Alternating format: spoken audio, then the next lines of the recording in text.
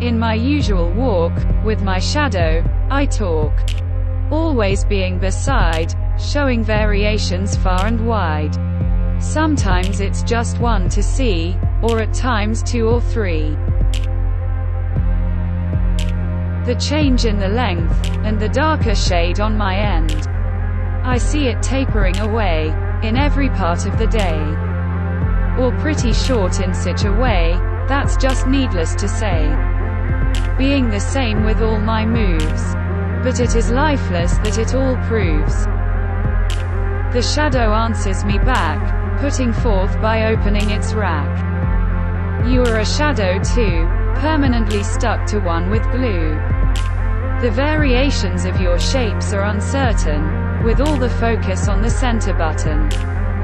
Your moves aren't independent but the same, giving the very insight of you being lame. The shadow also bring its bag of belief. You also give a sort of relief. Blocking the very harsh sunlight, getting one protected from fright. You cast your effect in more than one place, that people do follow your trace.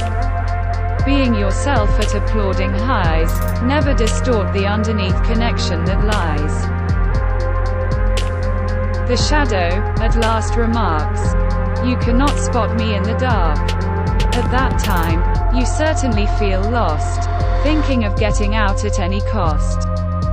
With me, you have the path ahead, else you are as good to be dead.